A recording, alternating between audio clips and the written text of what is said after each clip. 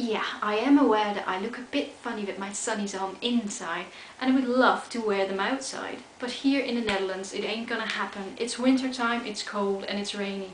And I would love to go to Australia again. Again, because I've been there before, about 8 years ago. Spent almost a year in Australia. I was scuba dive instructor in Brisbane and I travelled up to East Coast doing some of the islands like uh, Fraser, Hinchinbrook, Great Keppel and Magnetic. Love the people that I've met there. They're a bit funny, but they're really, really nice and would love to meet them again. The underwater world is just amazing. And so was boating the Whitsunday Islands. It was lovely. So I wouldn't mind going back there at all, I'll tell you. This whole lot, my year in Australia was part of my seven, eight years travelled. And um, I would love to get back into travelling again.